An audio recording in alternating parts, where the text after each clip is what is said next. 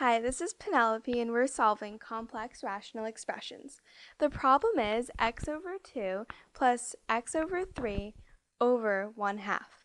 So the first thing we want to do is to find an LCM, which would be 6. So we multiply all the sides by 6. So then the next step we want to do is to rewrite the problem. So we have x over 2 times 6 plus x over 3 times 6 over 1 half times 6. So we can simplify these. So these cancel out.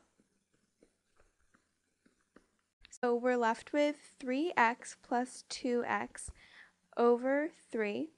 And we can combine the terms together and we can get 5x over 3 and that would be our answer.